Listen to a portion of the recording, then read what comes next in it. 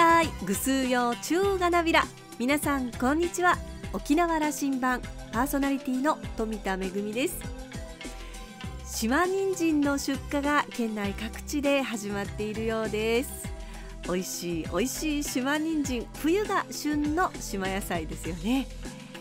地デ国とも呼ばれていますし色があの一般的なオレンジ色の人参よりも黄色っぽいことから私は小さい頃から黄色い人参と呼んでましたけれどもこの島人参しりしりにしても美味しいんですがレバーなんかと一緒に新自分にするとね本当にこうしみじみ美味しいなという味わいです。新型コロナの感染再拡大で閉塞感漂うこの冬ですが島野菜もたっぷり食べて元気に乗り切りたいですね。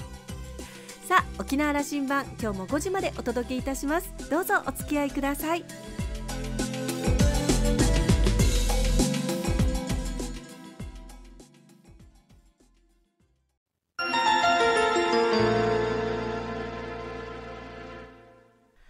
那覇空港のどこかにあると噂のコーラルラウンジ。今週は歴史家で琉球大学名誉教授の高倉義さんとラウンジ常連客で沖縄大学地域研究所特別研究員の島田克也さんのおしゃべりです。高さんは1947年生まれ伊是名村のご出身です。琉球の歴史を専門とし沖縄資料編集所専門員浦添市立図書館館長琉球大学法文学部教授などを歴任しました。首里城復元の委員や NHK 大河ドラマ「琉球の風」の監修などを担当し2013年からは中山県政で副知事も務めました。現在首里城復元に向けた技術検討委員会の委員長を務めていらっしゃいます。今回は首里城の存在の意味そしてアジアの中の琉球沖縄へと話題は展開していきます。なおこのインタビューは昨年11月28日に収録したものです。それではどうぞ。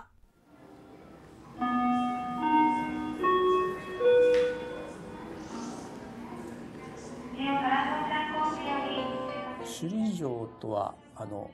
何なんだと沖縄にとっての意味は何だと高先生の言葉でもう一度整理していただきたい。あの正殿という建物が一番そのことをあの象徴してますけどもまさに中国の文化に学んだ。交流もした。そして大和日本とも交流した。その前に東南アジア諸国とも交流した。まさにアジアと交流したのが琉球という国だったわけですよね。したがってそうやって首里城にはたくさんの周りのアジアから学んだ文化がいっぱい入ってます。例えばあの巨大な木造建築物の木造技術は大和の建築技術に学んだわけですよ。建物のコンセプトについては例えば中国の文化の影響も受けました。しかし一番大事なことはそれらをただペタペタとくっつけたんじゃなくて全部琉球的に解釈して自分たちの価値観で解釈して自分たちのものにした上で表現してる。だからアジアというものとこう交流し学びながらしかし琉球というのは独自のスタンス独自の美というかそういった世界を作り出した人々だったと。それを象徴するのが正殿を中心とする首里城です。したがってそれはやはり沖縄歴史全体に見える。我々の先祖が作った歴史はそういう周りと交流し周りから学びそしてそれを自分たちのものにして同時に最終的にアウトプットは自分たちのそれ琉球的だというようなものに仕上げてこれは首里城だけじゃなくて紅型からもいろいろんなもの見たら全部そうですまさにあの学びながら自分のものにしそして独自のものとして発信していくっていう。そういう一種の文化力ソフトパワーを持ったのが琉球だったと僕は思うんだけどもその象徴が首里城ですよ一番。ですから我々はそういったあの成果というか時間歴史を持っているということをやっぱりみんながこうどっかでこう確認しながらじゃあ僕たちの時代はあるいはこれからの時代には何をしていけばいいのかと。むしろその先人たちがやったあの営みというかそういったことを振り返りながらそれ自分たちの中にそれを受け止めてで何ができるかということを考えていく。そういうまあある意味先生でもありますね首里城というのは。と僕は思ってますけどね。先生、はい、その象徴であるわけですな。そうです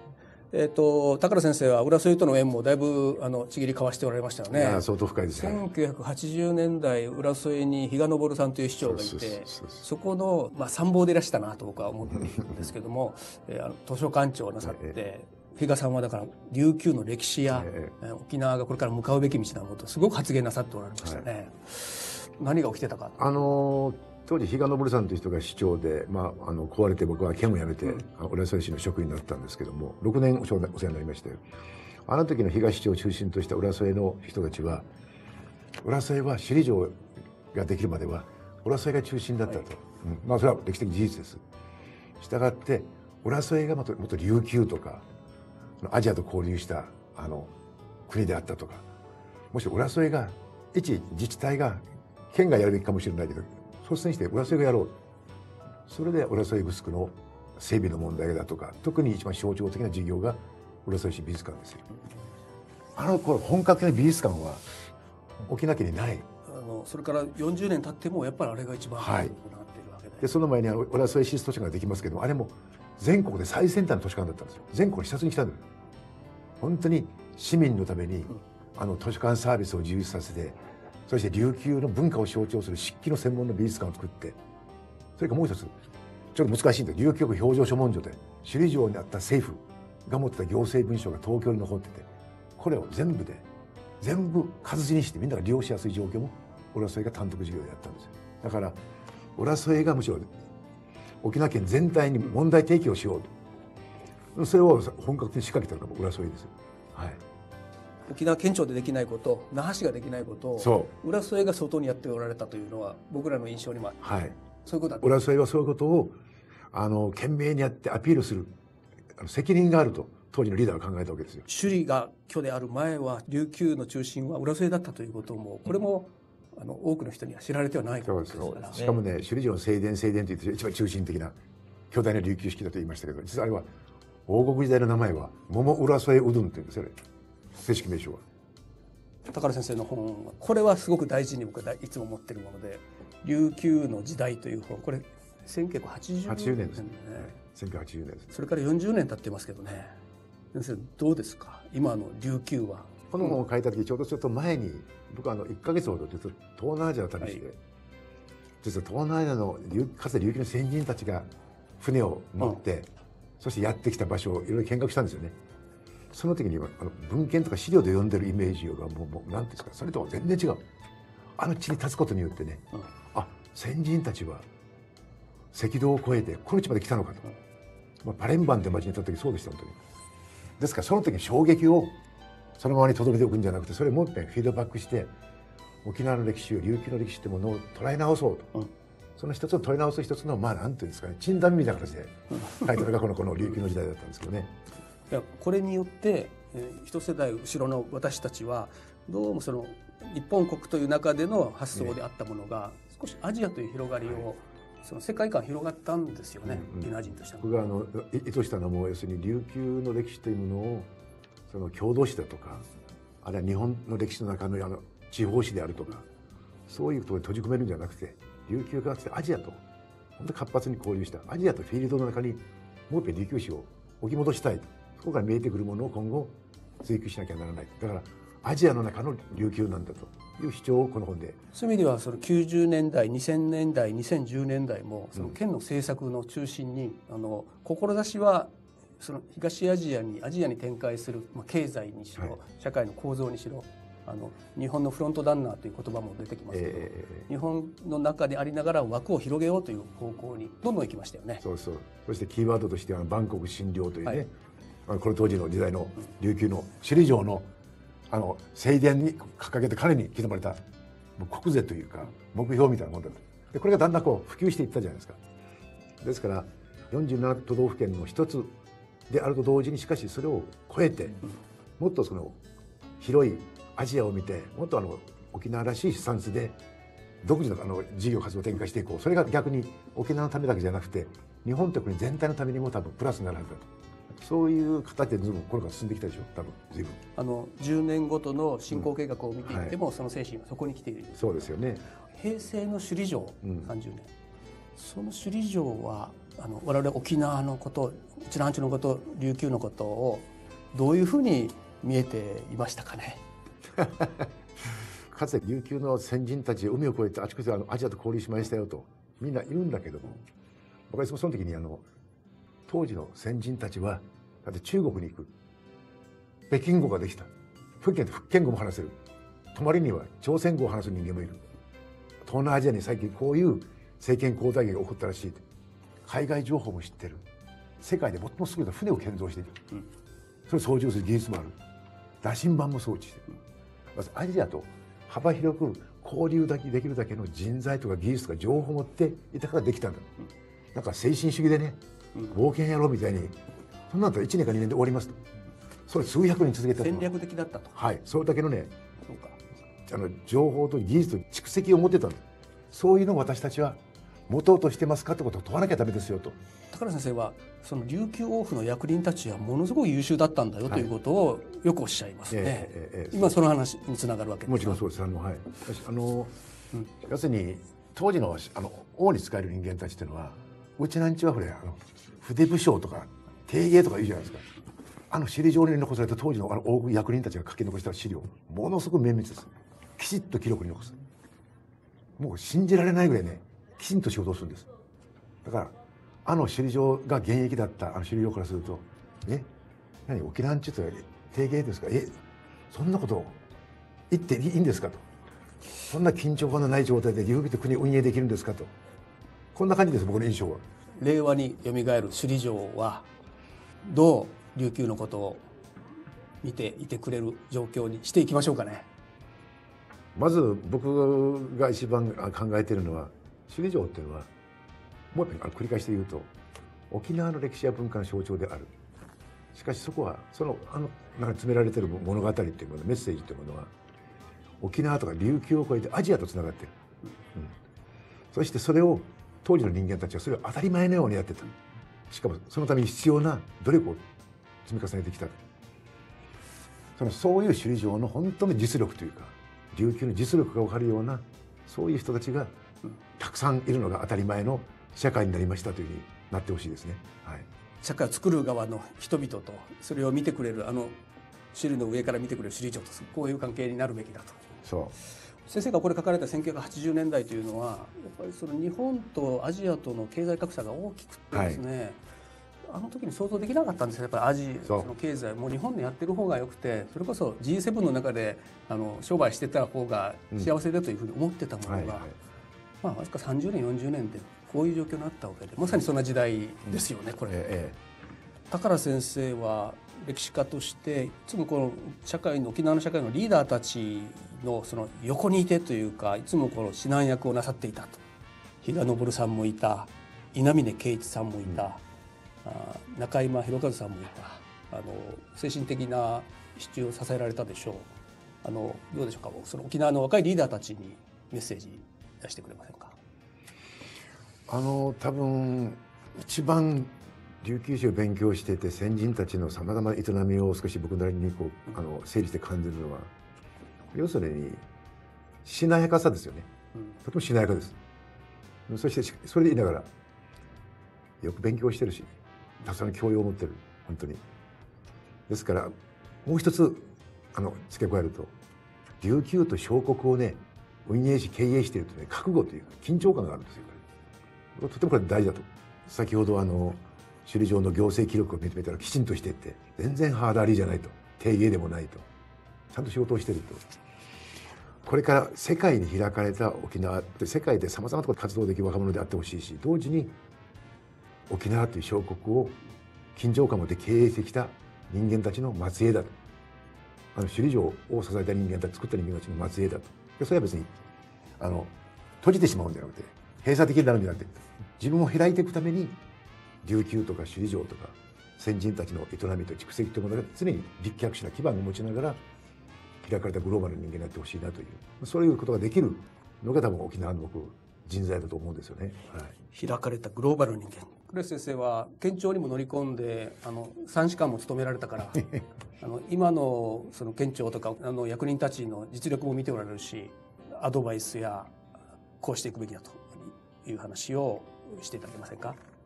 まず非常にメーカーに言うとみんな優秀ですよ、うん、可能性も人材がたくさんいる。で一番大事なのはそういった人材を良さを評価して活用するためのリーダーの問題ですと本当にリーダーシップというものが大事だろうと。そうするとね本当にきちっとしたあのリーダーシップを発揮してもらえればまあ普通に公務員というか自治体の職員も含めてみんな結構優秀ですよ。むしろ彼らが悲鳴上げるぐらい仕事させたらいいです、うん、そうすると沖縄良くなると思いますね仕事させたらいい。はい。もっとやるべきなんだ、はい、であのそのためにはリーダーシップがとても大事だと思います、うん、この本の中で読み返してみるとこう最後綴られていて琉球史は日本史アジア史世界史につながる泉なんだと、うん、それが学べるんだという意味だと伺い。ましたけど、はい、その価値を見出す力が琉球の歴史の中には歴史を学ぶことにあるんだと思いました、うん、あの僕は敬愛するイヤフユーという琉球研究パイオニアがいます。今浦添のグスクのあの眠っておられますね僕はもう学生時代から年にもずっと何回もあのボルトで聖地なんですよ今でも毎年あの年に何回今行きます。あのコーヒーが好きだったらコーヒーで立ててタバコも備えて。グラスヨドレいかんといかんな。でその人の言葉をパクったわけです。彼がいつも言ったのは何時の立つところを深く掘りなさいと。そこに泉があるんだと。つまり沖縄という時琉球という場所は立ってる場所は掘れば掘ろうとコンコンと豊かに水がそこに蓄えられてます。それを見つけるのがいつの時代でも我々の仕事なんだと。私も自分の生きてる時にそういう仕事をしたい。これからの多分世代も多分そういう仕事をしてほしい。つまりみんなが沖縄とか琉球と泉をそういう水源は日本やアジアに世界につながってるわけですよ。それをしっかりと見つめるような目が沖縄にとっても大事だろうというふうに思いますね。はい。2026年のその正殿が我々の前にあのまた蘇ってくるまでその掘り続けるということの営みその勉強する期間かもしれませんね。6年後まで掘り続けてほしいしもちろん6年後に正殿ができてもそれかこうやってストップすることできない。ずっと掘り続けなきゃダメです、はい、それが沖縄の人たちの仕事だと僕は思う、はい、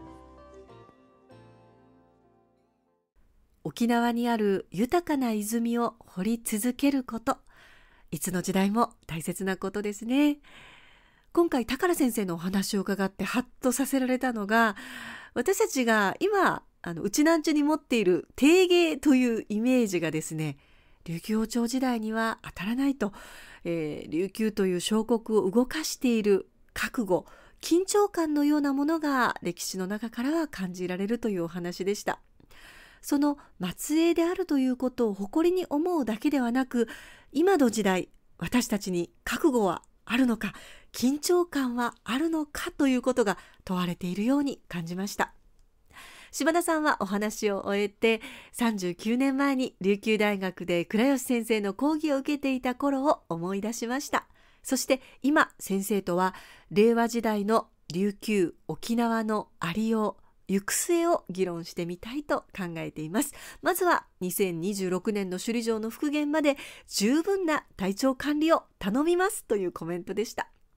今週のコーラルラウンジは歴史家で琉球大学名誉教授の宝倉義さんとラウンジ常連客で沖縄大学地域研究所特別研究員の島田克也さんのおしゃべりでした。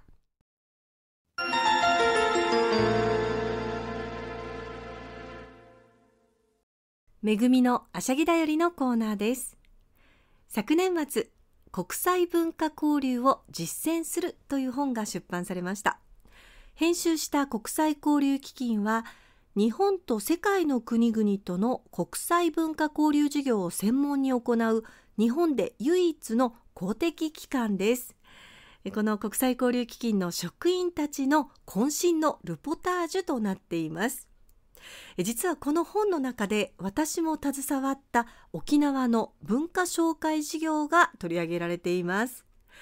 2015年の日韓国交正常化50周年記念事業のキックオフイベントとして位置づけられた事業なんですけれどもちょうどですねその時にえー、沖縄出身のミュージシャン池田卓さんが文化交流士に選ばれたということもあって池田卓さんとそして琉球芸能の実演家の皆さんと一緒に韓国を訪れました。また時期を同じくしてソウルの中心部にある豪軍博物館で、えー、大規模な琉球王国時代の宝物展が開催されたということもあっていろんなこう偶然が重なって実現した授業でした。えー、池田卓さんの音楽ですとか、え、琉球芸能の実演そして沖縄の短編映画の上映さらには休憩時間には沖縄のお菓子とか、え、お茶とか青森なんかの試食シーンもあったり、えー、沖縄の楽器の体験コーナーですとか流送の、えー、試着コーナーなんかもあってこう本当に多角的に沖縄を堪能していただきました。今はなかなかね国際交流難しい時期ではありますけれどもコロナが収束した暁には私たちまた沖縄の素晴らしい文化を世界の皆さんにお届けしていきたいなというふうに思っています。そして世界のさまざまな文化も学びたいなというふうに思っています。この本興味のある方は国際文化交流を実践する国際交流基金編白水社から出版されていますのでぜひ読んでみてくださいね。めぐみのあしゃぎだよりのコーナーでした。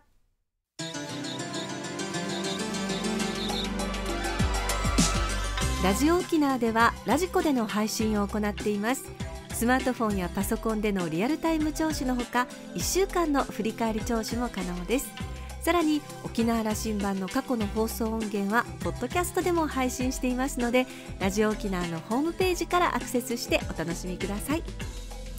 沖縄羅針盤今週も最後までお付き合いいただきまして一平二平デービル。パーソナリティは富田恵でした。それではまた来週。